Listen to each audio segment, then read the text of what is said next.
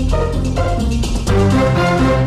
Cada día es un escenario diferente y así se lo plantea Joseph Arran, que no mira más allá del corto plazo a la hora de establecer sus estrategias.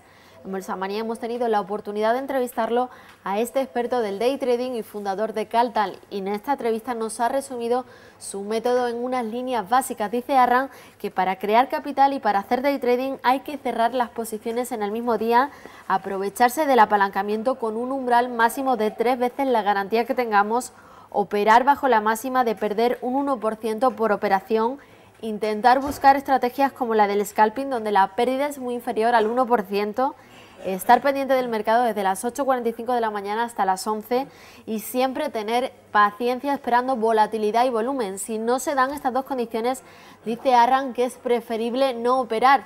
Debemos tener en cuenta que el no hacer nada también es una opción. Apunta este experto que se trata de vender, comprar y no hacer nada. Y no hacer nada es guardar nuestro cartucho para que quizás mañana haya otros acontecimientos que puedan dar lugar a oportunidades. Concluye, concluye el fundador de Caltal que las personas que tienen paciencia y saben perder ganan dinero en bolsa sin duda.